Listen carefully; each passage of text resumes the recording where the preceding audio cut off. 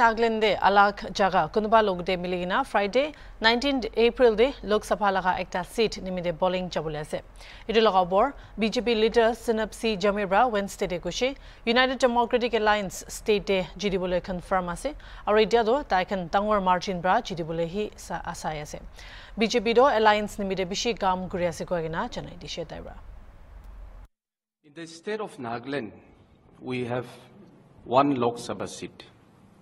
The election is going to be contested by our alliance partner, which is NDPP. Now, as far as the upcoming Lok Sabha election is concerned, it is a foregone, foregone conclusion that our alliance partner candidate is going to win.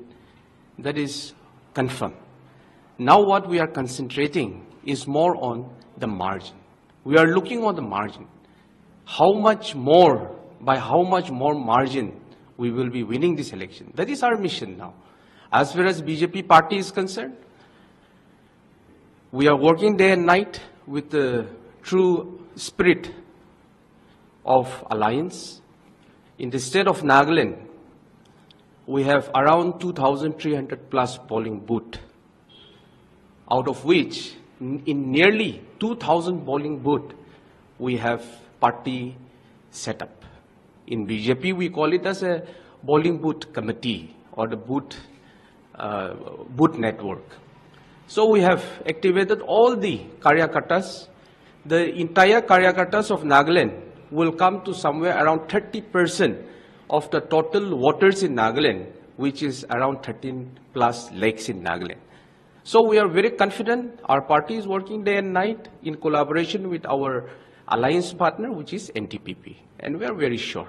And you will also get report from the grassroots if you go on surveying to each and every constituency. And for your knowledge and for the knowledge of the people who will be watching, in Nagaland today, as far as the Lok Sabha election is concerned, in Nagaland we have 60 assembly constituency, and it is an oppositionless government. So all the MLAs have come together to support this candidate of our alliance partner. So we are very positive. It's just a matter of some few days when we will be celebrating a very large, huge margin of victory. Thank you.